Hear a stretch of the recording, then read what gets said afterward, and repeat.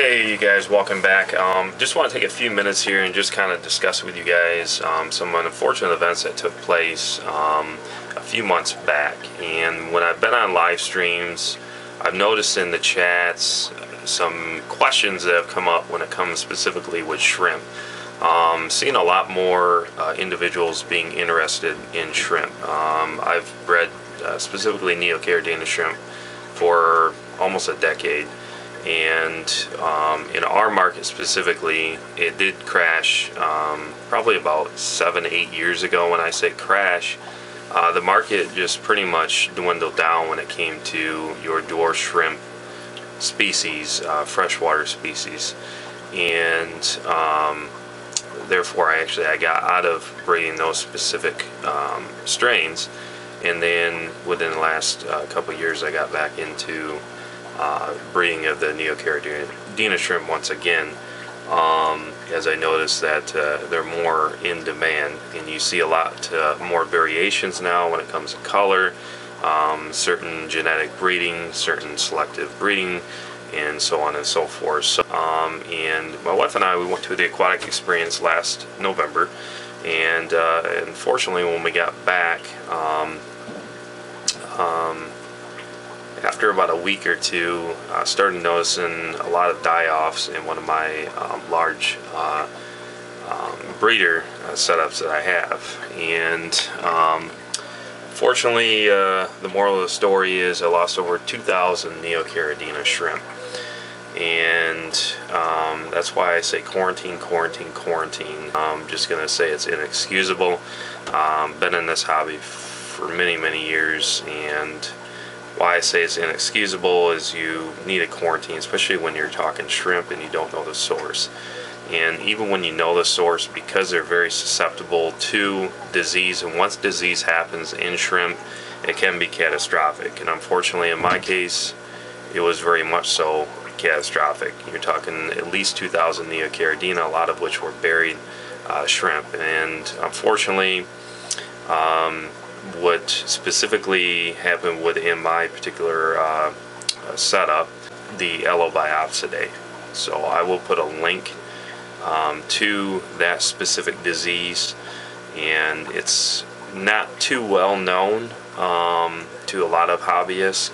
Ellobiopsidae is, is a, once it happens, um, put it in layman's terms, it really is not reversible, unfortunately uh, the best thing that you can do is just simply um, uh, shut down your system um, and basically you gotta start over. So I did what I could um, in order to try to save uh, the shrimp that I had and unfortunately I lost every one of them. So um, quarantine quarantine uh, especially with shrimp and with your fish um, even if you can rely on a source, you still need a quarantine. So I know 100% certainty it was Ellobiopsidae. Um, I specifically took uh, the deceased shrimp and brought them to our uh, veterinarian where I utilize his high power microscope and um, was able to actually utilize that opportunity to kind of share with some of his techs and uh, the staff, um, you know, uh, certain diseases within shrimp. So I guess I, in my unfortunate event, I was able to use it as a training tool to try to help other people. And through the microscope and so forth, we're able to compare uh, the imaging from Ellobiopsidae um, and uh, confirm that that's exactly what had taken place. So it was the first time that that particular disease happened in, in my uh, experience as a hobbyist um, as well as a breeder in that sense. And unfortunately, then, then there's also black spot disease. I'm not going to go into the specifics about each disease. All I can do is encourage you guys to get familiar um, with um, what that is. So if you plan on keeping, uh, you know, shrimp in, uh, specifically. Um, so with that said, make sure you guys quarantine. My rule of thumb with shrimp now is three months of quarantine. So if I do bring in any other shrimp, I will for sure quarantine them for uh, no less than three months. Um, I had never had any issues um, with shrimp prior to that. Now with fish, it's a different story because you're dealing with different uh, different aspects and so forth. But um, when it comes to with your dwarf uh, Neocaridina, Caridina species, and so on and so forth, um, you have to be very careful because um, they they are hardy, uh, but once a disease happens in shrimp, their immune system just can't take it.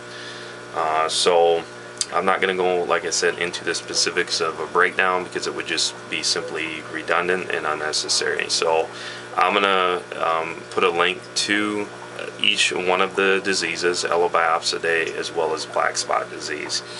Get yourself familiar with it. It's always good to be prepared. Um, and unfortunately, I went ahead and tore down that entire system um, and had to completely start over again. So that's why I ordered some shrimp. I ordered shrimp uh, from Lucas Brett's at um, LRB Aquatics and uh, basically had to get the you know my systems going once again.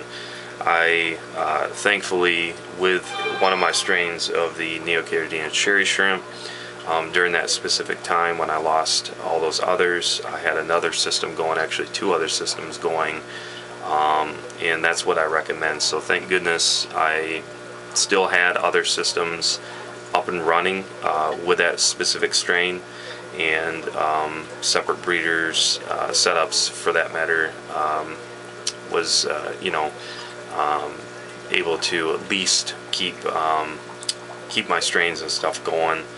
And uh, unfortunately the one that I lost them were from uh, the you know my large uh, 90 gallon setup. So um, now what I did is as I've been showing you guys um, I would definitely suggest that you do either 10 or 20 gallon setups and do individual strain per tank and then have at least one or two other additional grow out or backing rearing tanks um, already cycled and ready to go. So you can either selectively um, obtain uh, your best um, your best breeds and then introduce them into your rearing or backup tanks and then just utilize them simply as they grow out.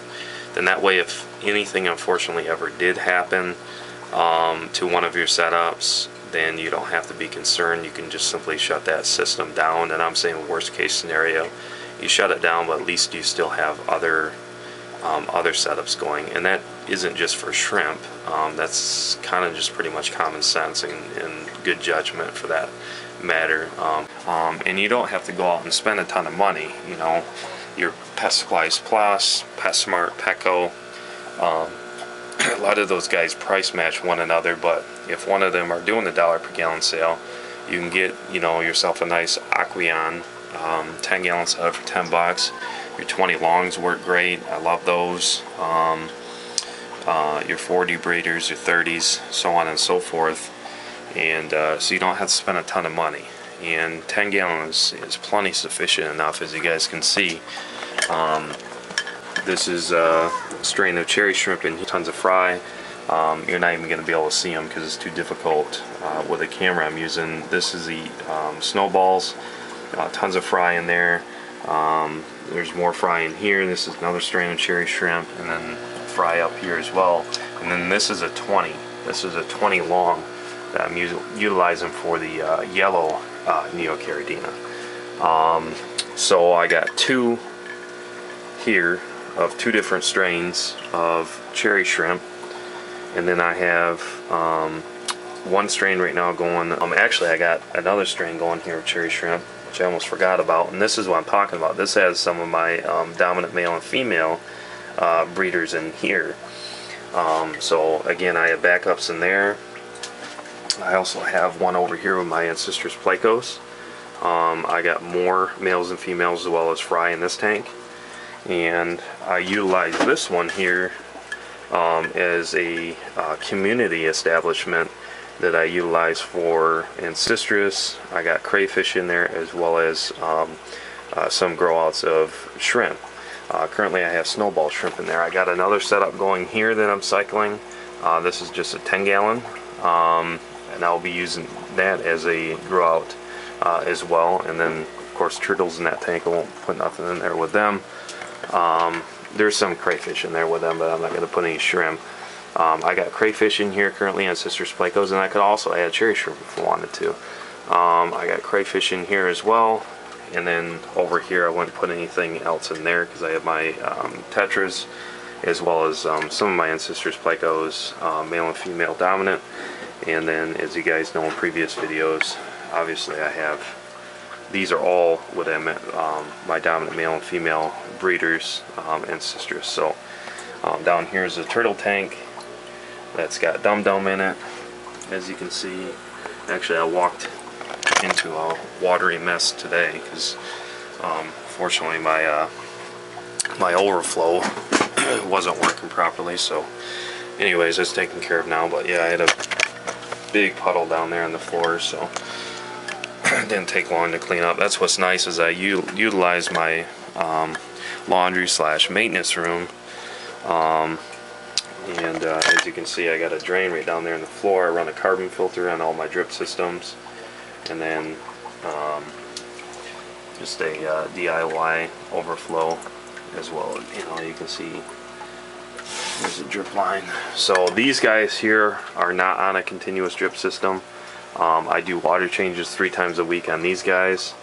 Um, and then up there same uh, no no drip system. I do have a drip system on the grow outs for the ancistrus because um, they need lots of water changes and they'll grow um, a lot faster. So provide good um, establishment of water um, and uh, water quality and uh, as long as you main, maintain consistency with them uh, you'll see uh, quite a good success with uh, um, as well as a good established diet and, and they will grow uh, quite a bit faster.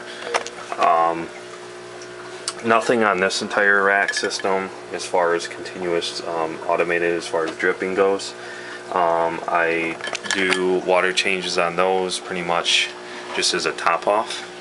So as needed um, I try to stay away and let the plants um, do their work. That's why you see um, I let things just go crazy in there as far as with plants and algae and so forth. So don't create more work for yourself uh, than needed. So as long as you're maintaining good uh, water quality um, then go ahead and just do your top offs. And I'm talking because of these being um, uh, my shrimp tanks. And I don't want a lot of swings either because they're not going to be able to handle it and then what I do is I fill up my five gallon buckets I got several of them uh, with the gamma seal or the gamma top. So I definitely recommend that if you guys do have a fish room.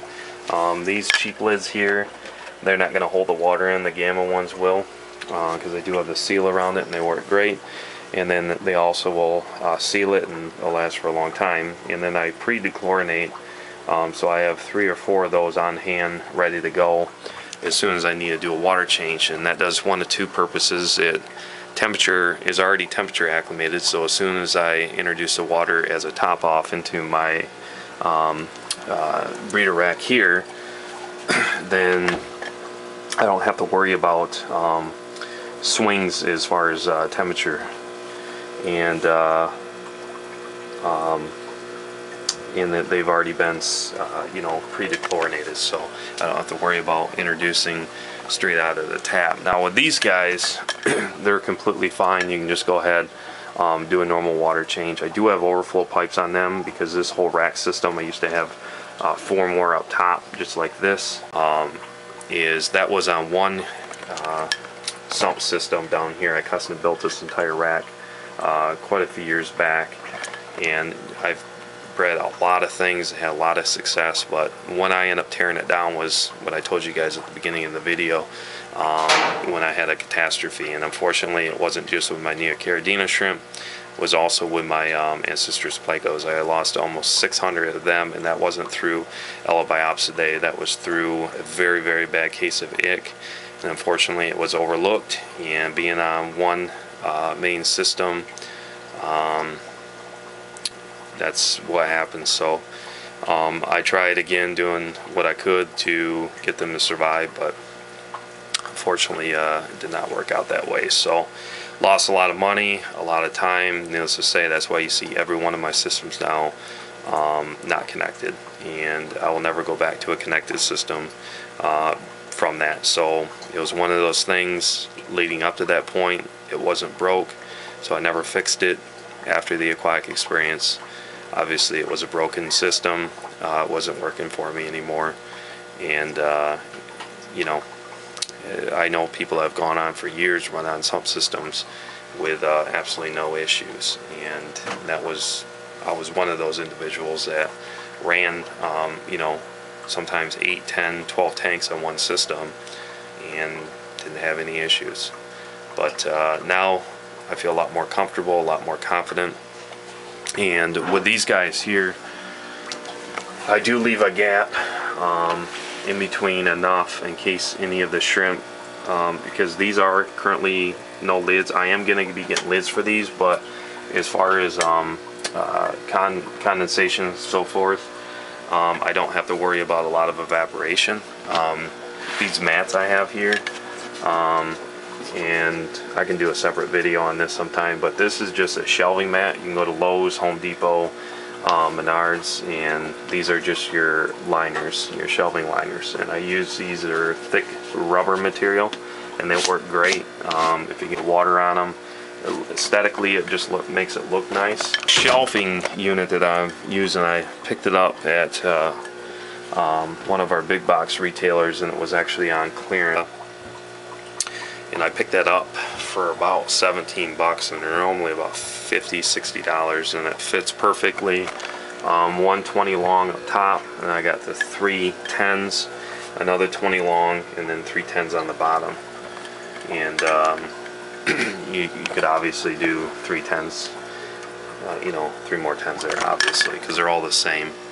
And uh, there's actually one more shelf that came with it, so I just eliminated that um, that particular shelf because I didn't need it. Uh, so, and it wouldn't work because you need enough spacing. And you know, there's a pretty decent sized gap. There's about an eight inch gap from here to here, so plenty of room uh, to work and then same here plenty of room so I didn't want to get them too tight um, I would have literally had to almost stack the shelves directly right on top of the next rack um, of tanks if I wanted to add the other shelf but uh, in all it, it worked out quite well um, you know I'm content with it uh, this is maximizing and being most efficient that I can in a small space um, um, then I would say probably a 10 by 10 at the most. Um, so 10 foot by 10 foot. So you're talking 100 square feet, and the ceilings are 8 foot. Because um, I don't have a drop ceiling in here, it's just uh, floor joists, just open. And what I did is I just insulated this a few years back, um, just using uh, regular uh, foam insulation. That is your one inch. Um, and uh, then I just use uh, uh, spray foam going around the rim joists and it contains it it maintains the temperature in here in the winter um, as you can see right around 75 72 degrees and then um, that's the humidity level um, which is right around 60% so still kind of the top end of ideal, but it's still comfortable in here. With that said, you guys, um, I didn't plan on this dragging on this long. Uh, as always, if you guys like this content, you like the channel, go ahead and hit that subscribe button. Make sure you hit that notification bell um, as well so you guys can get any updates. I think I've done about six live streams so far. I think I have three up uh, on my YouTube channel, so you guys can go ahead and check those out. And um, yeah, so if you guys have any comments uh, or questions for me, go ahead and leave them in the comment section below. I'll do my best to get back with you guys. I really appreciate you guys stopping by. And as always, stay encouraged. Keep on keeping on. Happy fishing. Until next one, we'll talk to you.